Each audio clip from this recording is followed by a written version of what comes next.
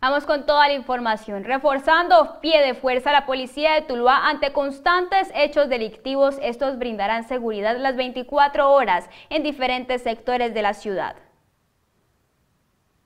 Así lo indicó el mayor Héctor Fabio Toro, comandante de la estación en Tuluá, quien dijo que esta decisión se tomó tras las intervenciones que por estos días realiza la institución con mil policías en siete municipios del centro y norte del Valle del Cauca. Ha continuado llegando un apoyo importante del nivel central, 117 eh, policías eh, conformados por diferentes especialidades del servicio policial y lógicamente nuestro modelo nacional de vigilancia para eh,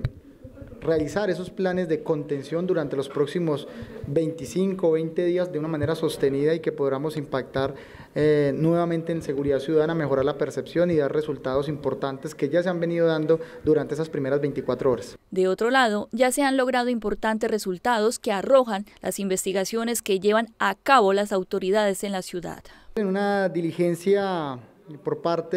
de nuestro modelo nacional de vigilancia comunitaria por cuadrante se logra la aprehensión y la captura de un menor de edad y la inmovilización de una motocicleta cuando esas personas portaban un arma de fuego ilegal tipo revólver con seis cartuchos para la misma y de acuerdo a labores de inteligencia sabíamos que se disponían a cometer un homicidio en el sector occidental del municipio de Tuluá. Para continuar con estos resultados de operatividad, la colaboración de la ciudadanía a través de la red de información se ha convertido en un eje muy importante.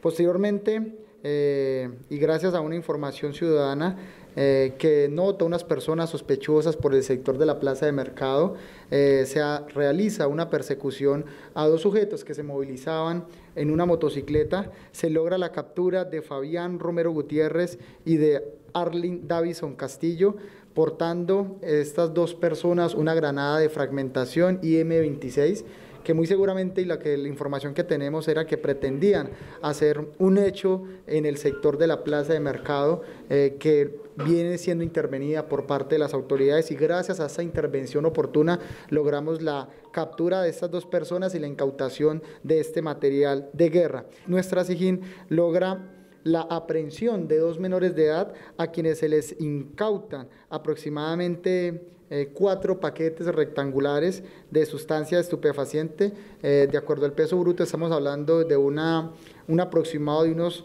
2.000 gramos de marihuana que se encontraban siendo eh, listos para ser distribuidos en diferentes sectores de la ciudad, así también como la inmovilización de una motocicleta que estaba siendo utilizada para la distribución de esta sustancia alucinógena.